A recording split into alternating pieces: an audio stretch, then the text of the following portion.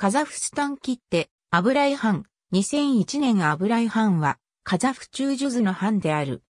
カザフ藩国の創設者ジャニーベクの子孫の有力家系に生まれ、18世紀前半にカザフ民兵を率い、ジュンガルと戦った有能な知性者にして指揮官であった。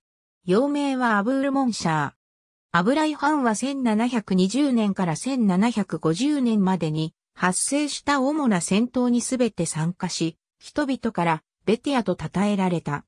アブライは強い独立したカザフ民族の国を作るべく奮闘し、統一されたカザフ人を率い、カザフスタンを国家として中央集権化を進めた。1771年に行われたカザフ三部族の代表者会議で、アブライはカザフの藩に選ばれた。真のジュンガル討伐に対し、アブライは中立を保つことを決めた。ジュンガルが慎重によって滅族されると、アブライは清に服従を誓った。